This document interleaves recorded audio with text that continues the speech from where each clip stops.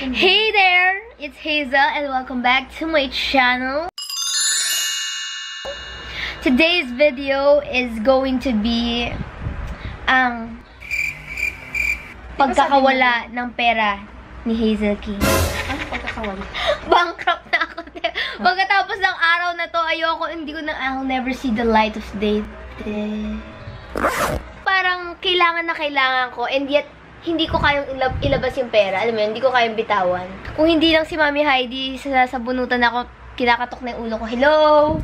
Kailangan mo na to. Mi! Para kang tanga.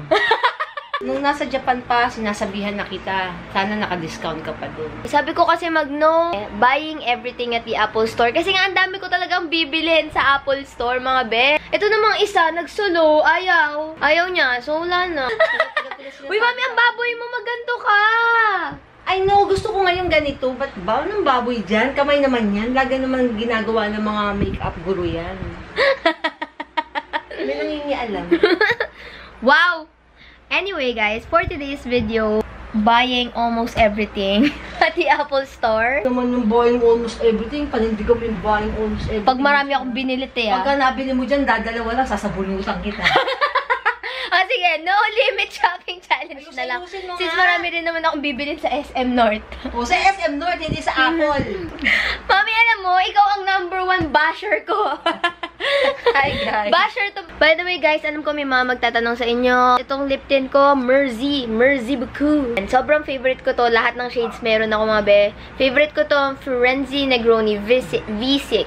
Ayun, anong oras na? Usapan namin, 10 a.m. Yung isa dito, nagmamaganda pa. Plans for today, una, magwi-withdraw ako kasi mas murang bumili sa Apple Store kapag cash. Kasi may 5% ano ba, rebate. Tapos pag nag-card ka naman installment, may 1% every month na dagdag. Kaya ngayon yung masakit sa akin eh. Pag kinash ko siya, wala nang laman yung bangko. Lalagyan mo ba ng laman, Mi? Hindi rin. Mi! Talaga mo kay ano, kay Mark Amoranto. Alis na kami mga be. Let's... Kill this love. Sabi ko, let's go sasabihin ko eh. ah, ganti ba yun? Tara na. Hindi ako makaget over. Cute nung aso ko nakasandal dun sa ano. We here. We file in for bankruptcy. Charot. Ito na, ito na ang simula ng ano, pagiging mayaman ko. Ito na. Dapat daw sinasabi, sinasabi mo na mayaman ka, maganda ka, matalino ka, at all else will follow. Kaya nga, yung akin i-claim ko, maganda ako, magaling ako sumayaw, lahat, ako na. O yun, i-claim nyo lang ang gusto nyo i-claim, guys. Ito na yun. So ngayon, nandito tayo sa BPI at magwi-withdraw tayo. Bawal mag-vlog, so hindi ko nadadalhin at hindi na ako mag-vlog. I'll see you guys later pag mayaman na ako. Bye! Naka-withdraw na kami. Hi, Tita Rose! Napakita na namin si Tita Rose. Kapatid ni Mama. Grabe, Tita Rose, hanggang ngayon ganyan ka um-outfit. Siyempre, bagets yan. Sexy! Sayang nga, hindi ko pa, dapat nakakita kong palda eh. Mas, Hello, hello, hello mga Beshi Wops. Hi, Mami. So, inatid lang namin si Tita Rose. Nakita namin siya sa bank. At nakasingit kami sa bangko. Bakit tayo nakasingit? Eh, napaka-powerful naman niya. Si Tita Rosie kasi is prepared, ano yan. I prefer. Oo, prepared. Ayan, um, siya ang tita card naming holder ano. Siya. Kapatid siya ni Mama. Rich yung tita rich namin. and famous. Mahilig siya maglakad. Hindi siya Mm. nagsasasakyan. At saka matipid siya. Matipid. Kaya naman rich. Anyway, naka-withdraw na tayo. Charon!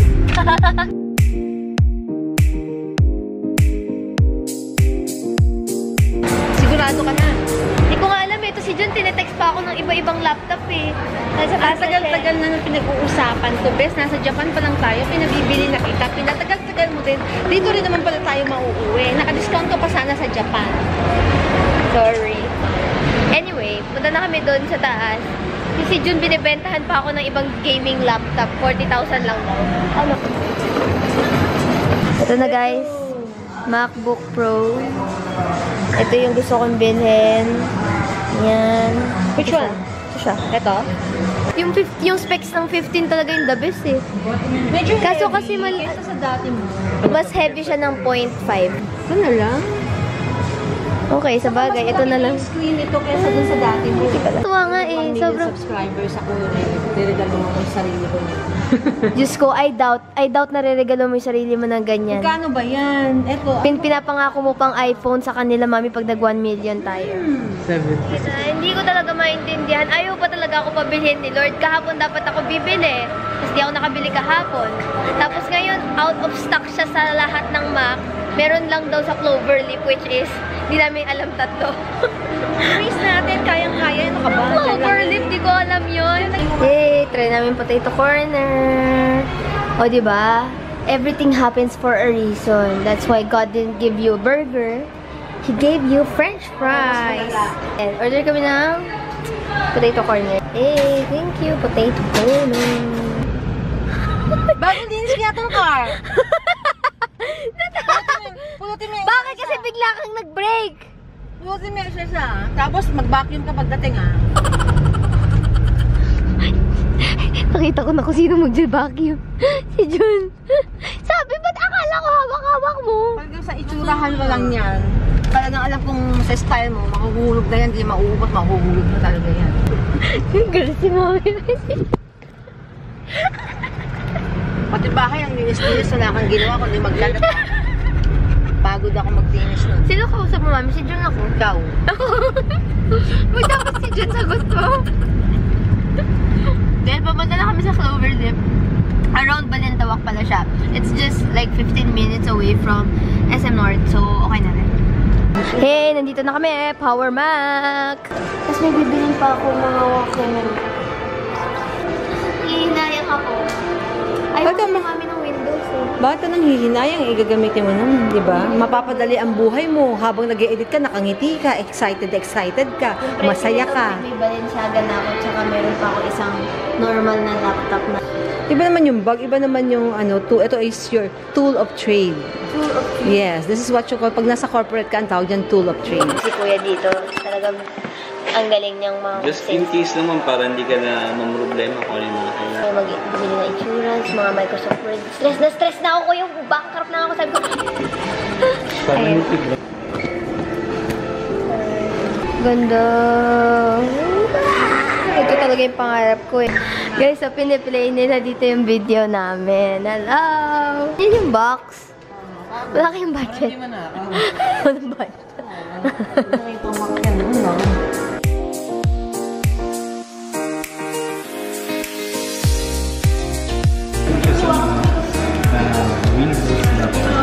So, best buy yan, kuya. Oo. Kahit ano, ah, review siya sa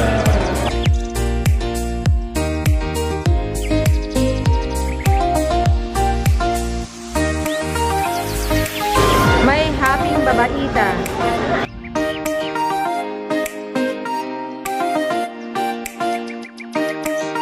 Hi guys! So, nakauwi na ako. And, ayan, ito na ang mga pinagkakagastusan ko for today.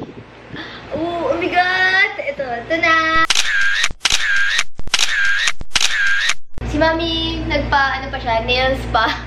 Ako, hindi na ako makapag-antay. Gusto ko nang buksan ang aking... Gusto ko na siyang i-unbox sa inyo guys at i-haul yung mga nabili ko sa Mac. Intro lang, I'm not creating this video to brag. Una-una. Pangalawa, I bought this with my own money. It's a hard-earned possession.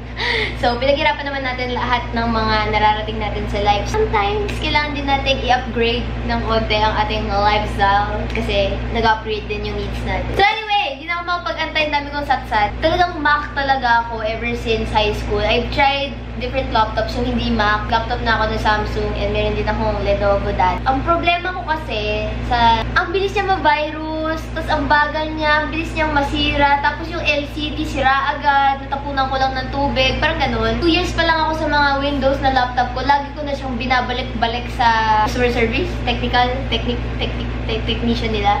Ito, five years na to sa akin, guys. Five years na siyang nalalaglag, nababasa, hindi natutulog. Like, lagi lang siyang sleep. Hindi ko siya na-shutdown talaga most of the time. Never siyang gumive. Never akong nagpunta sa Mac, hello, sira yung laptop ko. Never itong nasira. And sobrang gaan niya, tingnan nyo. Minsan ganyan lang. Minsan nga, pag binubuhat ko to, ayan o, ganyan ko lang siya binubuhat. Ah! so yeah, pero never talaga siya nasira. So, hands down naman talaga ako sa Mac. Although, contemplate talaga ako kung gusto kong bilhin to. Kasi, sabihin ko na sa inyo yung price, 30,000 siya. 126,000 tong laptop. Although, hindi siya yung pinaka-high-end ng Mac. Mamaya explain ko kung bakit hindi yun yung binili ko. Pero, ito na kasi yung feeling ko pinaka-worth it sa price niya. Yung 180,000 na Mac ni June. Mahilig si June sa mga laptops eh. So, talagang alam niya, kabisado niya yung mga specs. Hindi na talaga siya super worth it. And hindi ko naman siya super need. Ito na siya! Ayan! Nung una ko itong nilabas, sabi ko, ano to? Ba't ganito yung box? Kala ko ito na talaga yung bagong box ng MacBook. Pero, nandito pa pala sa loob yung box. Yung box. Talaga. So, I got the MacBook Pro. Yung dati kong laptop is Air 11. Now, I have the MacBook Pro na 13 inches. Walang sira tong laptop na to. The best pa rin siya. Kung wala akong pera, hindi ako bibili ng bagong laptop pag matsatsaga ko pa din to. It's just that I just need another laptop. Kailangan ko ng dalawang laptop. Kasi may pagka-impatient talaga ako. Like, pag nagre medyo mabagal kasi to mag-render. Like, around, tumatagal siya ng 10 to 15 minutes o 20 minutes minsan kapag sobrang haba ng daming file. And minsan natatagalan ako doon kasi may kailangan din akong Instagram post na i-post. So, kailangan ko din mag-edit sa Lightroom. 10GB lang lagi yung free memory. So, hindi na kinakaya ng RAM yung mga kaganapan na nagaganap lagi. Tapos, ang dami ko pang tab. So, I need a powerful na laptop sa work. So, while naglo-load yung isa, may ginagawa ko sa isa. Ba't pa ako na-explain? So, bumili ako ng mas powerful. Ito yung MacBook Pro. So, yan! Box na natin siya! So, ito na siya pag open mo ng box. Una, plano ko is yung pinaka-high, high, high end talaga nila. Running sa 180,000.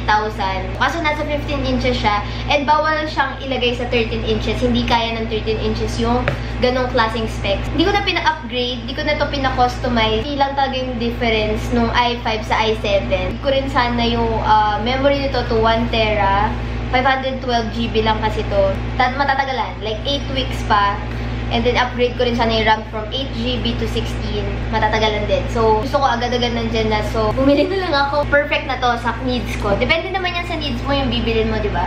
So, this is the MacBook Pro 13 inches, 8GB RAM, i5, 8 Gen. Ayun. Kung naiintindihan nyo. Ako, oh, yun na siya. First time ko siyang i-open. Ah, the smell of the new MacBook.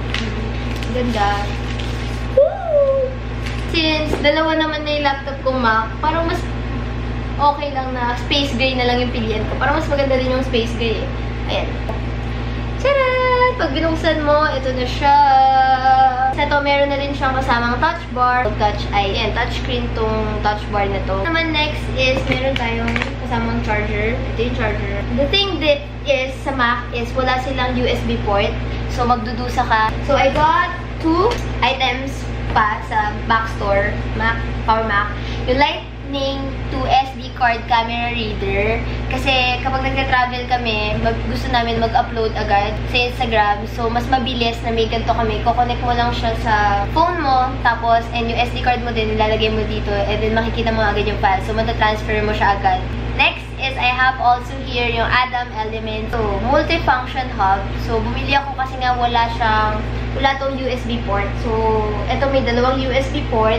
Pwede mo pang i-connect sa projector. May SD card slot na rin. So, very functional. This is around 4,190. Ito naman 1,790. And si June, gawin niya na yung laptop ko. Kasi, unang walang Final Cut Pro. Pag binili mo yung Final Cut Pro, kanina binibenta nila for 15,000 pesos. Si June na lang, bahala dyan. You know it. So, hindi lang naman Mac may yung magandang laptop na pang-edit, na pang-YouTuber sa mga magtatanong dyan. Marami dyan napasok pa sa budget nyo. It's just that, mas mas mabilis akong gumalaw sa Mac. So, airdrop to airdrop, napakabilis lang mag-transfer, napakabilis gumalaw. So, kaya Mac talaga. Pero, nonetheless, huwag kayong magpa-influensya sa akin na Mac lang, Mac lang talaga yung pang-edit. The best na pang-YouTuber. Hindi naman. Ano na si June. Follow nyo sa, Instagram at June ay sa uh, consult kayo ng magandang laptop. Alam niya yan lahat. Din. Basically, that's it for today's video. I hope you guys enjoyed and learned something from me, from us. And yun, I will see you again on my next video. Thank you so much for watching. Bye!